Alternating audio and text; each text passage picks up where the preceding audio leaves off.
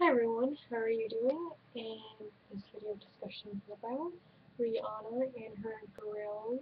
Um, if you guys don't know what a grill is, basically it's like um something that you would put in your mouth, like like a fashion um for your teeth, um kind of like braces, but it's not braces. Um, it's just kind of like a gold grill that you just kind of like stick in your mouth, whatever. But I have nothing against that. I think it's, you know, cute if you can, you know, some people can play it off really well and it looks good on them. But some people like me, like I don't think I would look good with it. I don't think I would at all.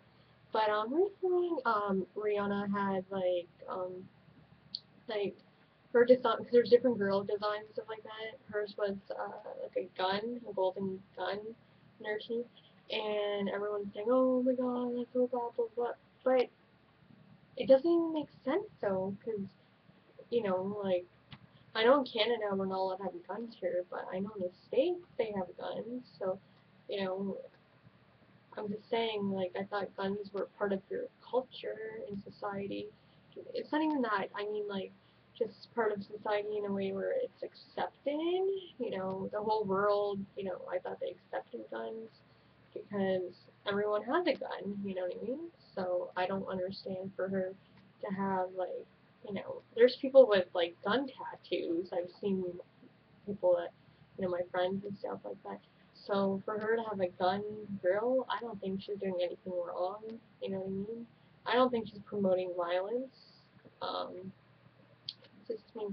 So anyways, um, comment below, and because it's not like she's stating, oh, I have a gun um, in my mouth, so, you know, I'm promoting violence. No, she's not promoting violence at all. So, for anyone to think that she is, and I'm going to take my glasses off because I have a glare in my glasses. So, anyways, um, yeah.